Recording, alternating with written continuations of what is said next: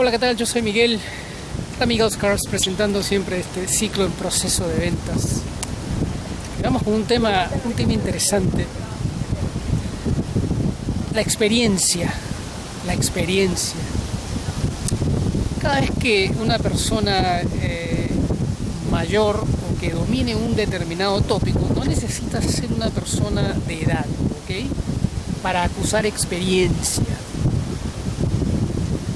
solo hecho de dominar un, tópico, puedes decir, ok, puedes gritarle al mundo que tienes experiencia. Entonces se presenta eh, eh, mucha gente que, dice tener experiencia, ¿no? Cuando uno se presenta a un trabajo, por ejemplo, las veces que me he presentado, Generalmente la, fraseología es yo tengo experiencia en esto, yo tengo experiencia en lo otro, o el entrevistador te formula determinadas preguntas, te dice si tú tienes experiencia en esto, si tienes experiencia en lo otro. A veces la gente que, dice conocer de, un tema, primero que, que presenta es su experiencia en determinados tópicos, o a veces cuando una persona eh, quiere imponerse en un grupo, ¿no? en, una, en una charla de sobremesa de gente que más o menos entiende de un determinado tópico. Pueden ser los deportes, puede ser la política, pueden ser los negocios, puede ser un tema de fashion, puede ser un tema de artesanía, puede ser un tema de viajes, lo que sea, lo que sea. Generalmente la gente dice tener experiencia porque tener experiencia porque anduvo en determinada compañía, ya, ya conoce de esto, ya conoce de otro, ya ya, ya ha, hecho determinado este eh, currículo, determinado resumen, determinada hoja de vida, entonces dice tener experiencia. El tema de la experiencia es un poquito más complicado que eso, ojo, ¿eh? El tema de la experiencia no pasa por haber transitado, no pasa por haber recorrido, no pasa por haber eh, husmeado, por haber eh, eh, dormido o por haberse levantado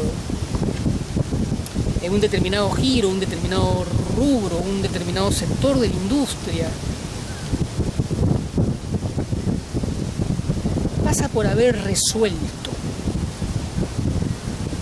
La experiencia no es otra cosa que la capacidad de poder resolver circunstancias difíciles, complicadas, que demandan de una resolución inmediata. Esa es la experiencia. Cuando digas que tienes experiencia, quiere decir que estás en capacidad de resolver. Pero Miguel, ¿resolver qué? Resolver un problema. La experiencia no es otra cosa que eso. La capacidad de poder resolver un problema. Resolver. Es la experiencia. Tú tienes experiencia en la medida que tú entiendas un fenómeno, que lo puedas visualizar, que puedas entrever, que puedas anticipar, anticipar estadísticamente qué cosa es lo que va a acontecer. Esa es la experiencia. La experiencia no es otra cosa que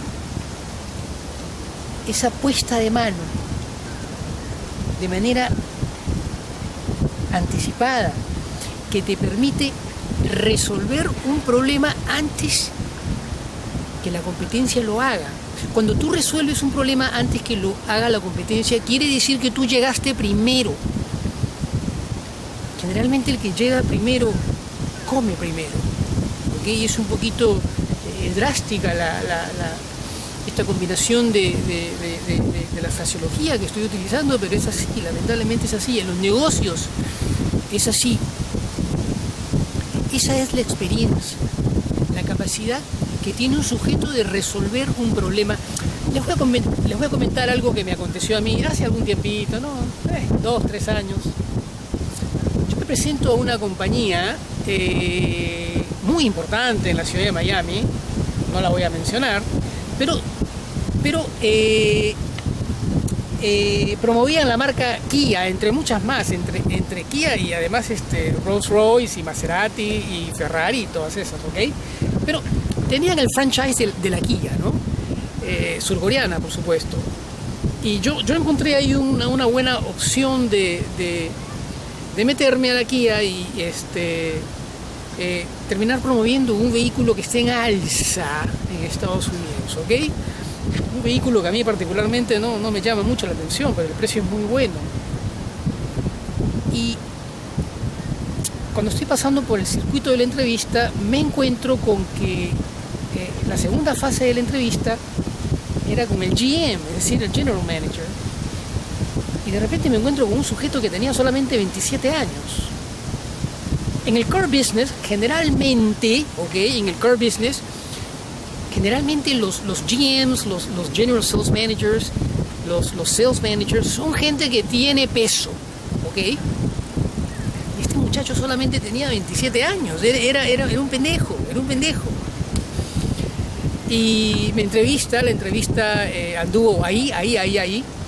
Y no sé si me iban a contratar o no. El tema es que me termina contratando la Lincoln dos o tres días después y tomo, por supuesto, la opción de la Lincoln. Porque yo sabía que tenía un muy buen paquete este, desde Detroit, desde Michigan. El paquete mismo, propio, el, mismo paquete de la Lincoln era muy bueno. Termino tomando esa opción, por supuesto. Eh, al final nunca, nunca más me llaman de la Kia, o sea que no iba, ese, trabajo yo no lo iba a conseguir. Pero me sorprendió la edad de este muchacho.